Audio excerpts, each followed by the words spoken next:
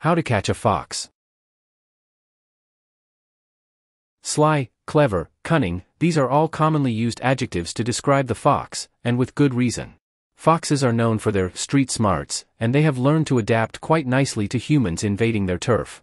They are small, omnivorous, wily predators and scavengers. Foxes can sometimes be serious nuisances, especially to farmers or other people with small, domesticated animals. Knowing how to catch a fox can be a very useful skill to have. In addition, knowing how to deal with a fox you've already caught allows you make a decision that eliminates your problems while ensuring the humane treatment of the animal. Please remember that there are other ways to deter foxes, and killing them should only be used as a last resort. In this video, we're going to teach you about the most effective strategies on how to catch a fox. So, you can be worry-free about your domestic pets.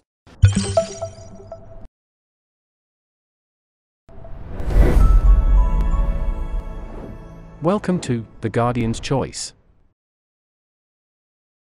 This video will tell you how to catching an adult fox and disposing of a captured fox. Follow all the steps in this video for the best results, and don't forget to subscribe to get all the household tips and tricks you don't want to miss. Method 1. Catching an adult fox. Number 1. Set a live trap in a location you expect fox to be. For the vast majority of foxes, standard boxy live traps of a suitable size work quite well. These traps resemble a long rectangular box with trap doors at one, or either, end. The fox, lured in by bait, steps on a pedal, which releases the trap doors and locks it in. Live traps are available to buy or rent at most hunting goods stores and also online from specialty retailers. For the medium to medium large trap suitable for catching foxes, prices usually range from about $40.80. Number 2. Bait the trap. Set your trap in the open position and carefully place your bait in the designated space in the center. You have a wide variety of options when it comes to picking your bait. For instance, you may want to use pork, wet cat food, fish, chicken, or other meat. If you're a hunter, you may alternatively want to use game meat, bobcat and beaver work especially well. The scent of the bait you use is important. Foxes have strong noses that they use to sniff out food sources, so, if possible, try to use bait with a strong, appealing odor. If you're using cat food, try to use one with a strong fishy scent, foxes love this. Number 3. Let the trap sit out overnight. Though it's possible to see foxes at almost any time of the day, the animals are usually nocturnal predators. For this reason, once you set a trap, you'll want to be very patient, waiting at least one night for results. Check on your trap in the morning to see if you've caught your troublesome fox. Don't be surprised if you find a raccoon, skunk, rat, possum, or other small mammal in the trap. These animals can also be attracted to the same sorts of baits that foxes like. Don't let the trap sit out for more than a day or so without checking on it. Doing this can cause a trapped fox to suffer from hunger, thirst, or exposure to the elements. Number 4. Alternatively, try digging a hole trap. If you don't have a live box trap and don't want to bother renting or buying one, this free alternative can also work well. To make a hole trap, dig a deep, steep-sided hole near a tree, a stump, or another natural obstruction so that the fox can only enter the hole from one side. Place your bait in the bottom of the hole and cover the top of the trap with branches and leaves to obscure it. If the hole is steep enough, the fox will fall in while looking for the bait and be unable to climb out until you come back for it. Number 5. Try step baiting.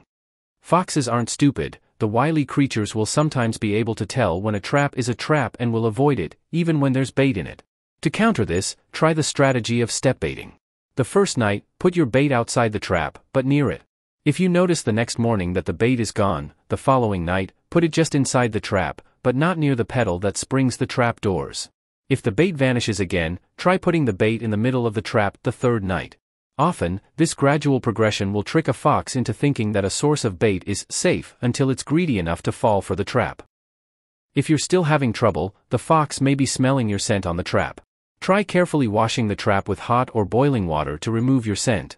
You may also want to try sprinkling some fox urine, available at many hunting goods stores, around the trap. Foxes can be territorial, so another fox's scent can cause it to investigate the trap closely.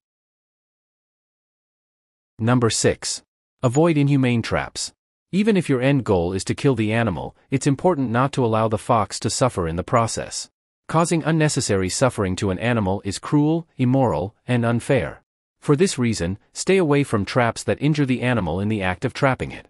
For instance, steel-jawed leg traps can break the fox's leg when they snap closed on it and wire snares can cut off circulation to the animal's limb, causing it to die. Traps that work by suddenly gripping or snapping shut on part of the animal should never be used. In addition to being inhumane, these sorts of traps can also be illegal and carry stiff fines for their use, depending on where you live. Number 7. Euthanize an injured fox. If you somehow manage to seriously injure a fox while trying to catch it, you will probably want to euthanize the animal, or call a professional to do it for you. Releasing a maimed animal back into the wild can cause the animal to suffer for days before it eventually starves, dies of disease, or is killed by a predator. Quick, relatively pain-free euthanasia is almost always a better alternative in this case. Humane killing methods are generally those that cause instant, or near instant, unconsciousness followed by quick death without giving the animal a chance to panic or suffer. Different animal welfare groups will have different definitions of what a humane killing method is, but, in general, methods like shooting the animal in the head, stunning it with electricity and then cutting its throat, and using pain-free gases are considered humane by most authorities. Do not attempt to euthanize a fox on your own unless you know what you are doing. Did this video help you? Let's comment below, yes or no.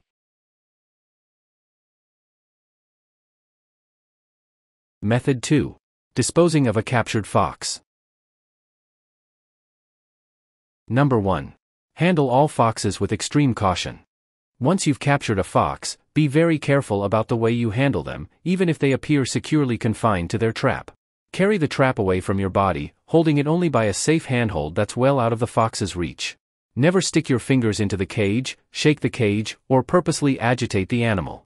Foxes caught in live traps are likely to be scared for their lives, which means that they have the potential to lash out and bite or scratch you, even if they appear docile on the surface. Note that foxes can carry a variety of diseases including rabies, a deadly viral disease for which there is no cure besides receiving a vaccination after being bit. If you are ever bitten or scratched by a fox, contact a doctor right away.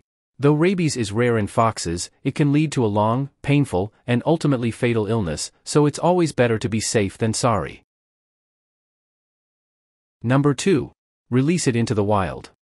The best option when you've captured a fox is to take them somewhere far away and let them go free.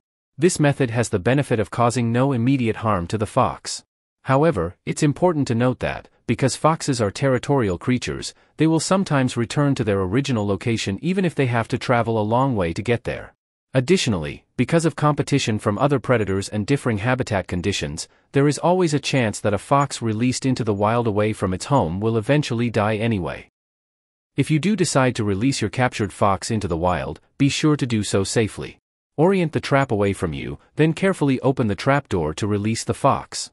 Don't pursue the fox once they leave the trap, they will likely be agitated and can potentially react with hostility, though this is rare.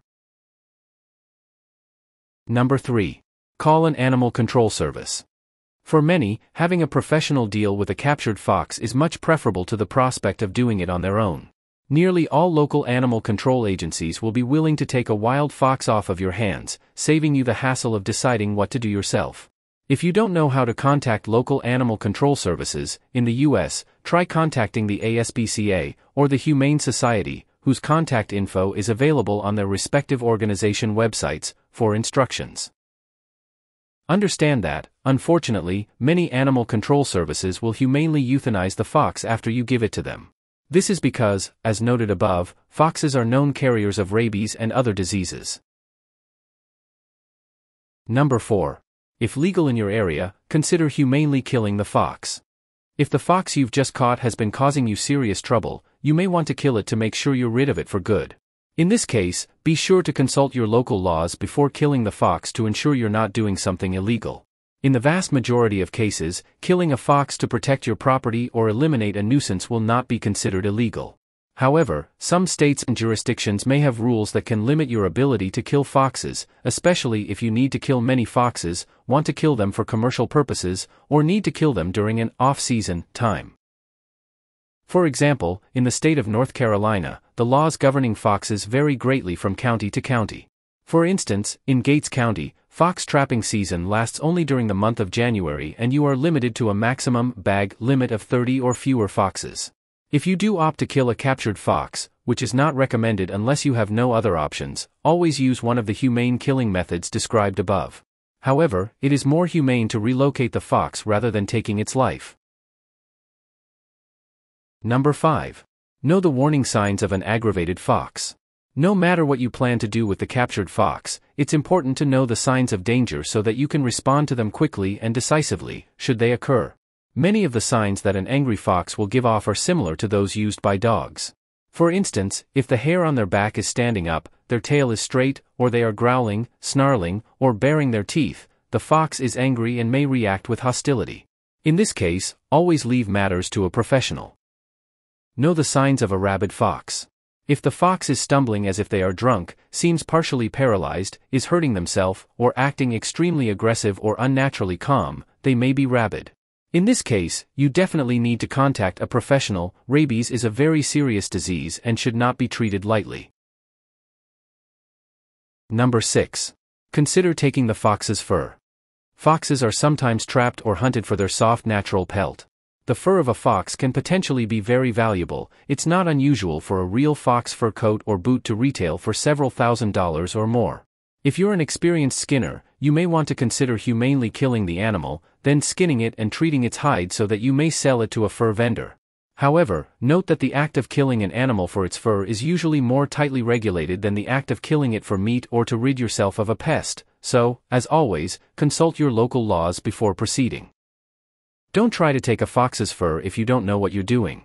Knowing how to skin an animal is a difficult skill that can require lots of practice to perfect. Attempting to skin a dead fox when you've never done so before may end up in the fur being ruined, making the fox's death a complete and utter waste. Number 7. Carefully wash yourself after handling a fox. Even if you don't come into direct contact with your captured fox, you'll want to give your hands and arms, and, if necessary, your body and clothing, a thorough washing after handling its trap. Like many wild animals, foxes can be quite dirty even if they don't appear so. They may, for instance, have small amounts of blood on them from a recent kill or may have tiny traces of fecal matter in their fur. In addition, they may carry parasites like fleas or ticks, especially cat fleas. Because you have no way of knowing where exactly a fox has been, it's usually best to be safe. You'll also want to wash your trap as well to avoid the possibility of future contamination. Scrub all of its surfaces with hot water and soap, then use a hose to rinse it. Finally, dry it with a towel or rag to prepare it for future use. Did this video help you? Let's comment below, yes or no. Tips If you're ever in doubt, contact an animal control expert. Warnings 1. Don't attempt to care for injured foxes or nurse them back to health. Instead, contact a professional.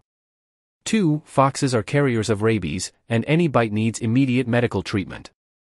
3. Never kill a fox purely for sport or for their pelt. This is cruel and unnecessary. Choose the method that works best for you and your situation, and worry free about your domestic pets. Follow this channel to learn many more household tips, tricks, and life hacks like this. If you have other tips, please share them with us in the comments. Good luck, and see you in the next video.